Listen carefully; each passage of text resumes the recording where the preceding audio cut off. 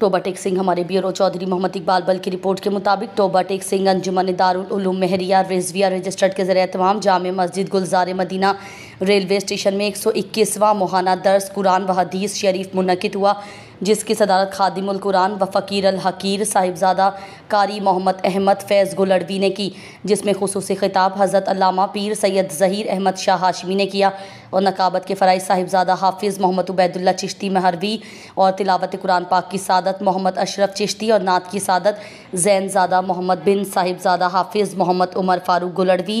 Sahibzada Umair Sultan शफ़कत Rasool professor Mohammad Ehsaan Owaisi,